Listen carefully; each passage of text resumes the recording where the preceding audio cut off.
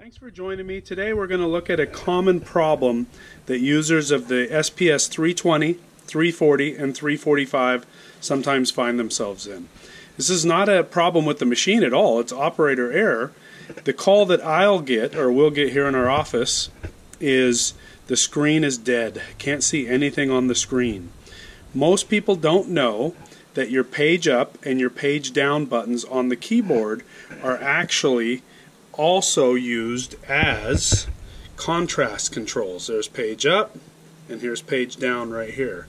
So if we take a look at the screen, I'm going to use the page up.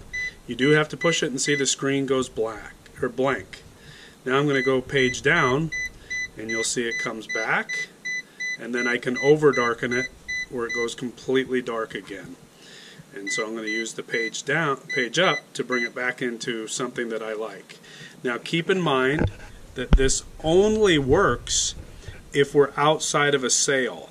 If I've already started a sale, like we have here, and now I use the page up, it completely ignores that. Once you've started a sale, the page up and page down are exactly for what they're described, page up and page down um, outside of a sale. So if I cash this out,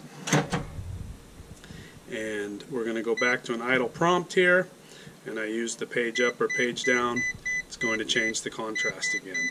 So it's very easily solved. Um, I don't think of all the calls I've ever had on this register we've ever actually had to change a display. Every time it's the page up or page down just being used inadvertently before a sale has started. So that's all there is. Thanks a lot. Bye.